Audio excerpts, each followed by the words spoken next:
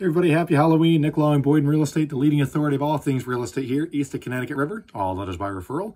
If you currently subscribe, thank you so much for coming back. If you're new to the channel, please consider like and subscribe so you don't miss anything important going on in real estate in Connecticut.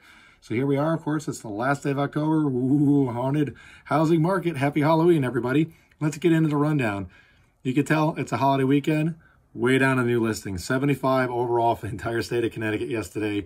69 accepted offers, and exactly, ooh, my OCD is happy.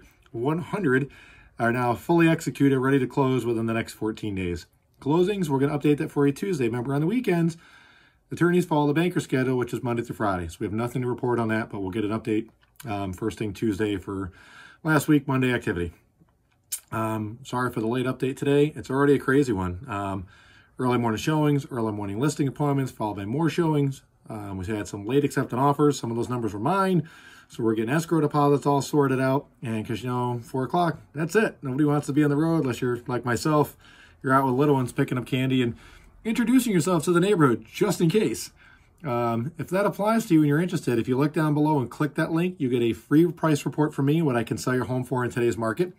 If you want to buy for the first time, below that is another link Click that. You'll also get a free report from me of commonly asked questions about how the process works. If your question is still not answered after that, my number to text is right there. We can set up a Zoom meeting or meet in person, whatever's best for you. Um, but on that, have a safe and great happy Halloween. And if you're out and about with your kids tonight, I'll see you around the neighborhood.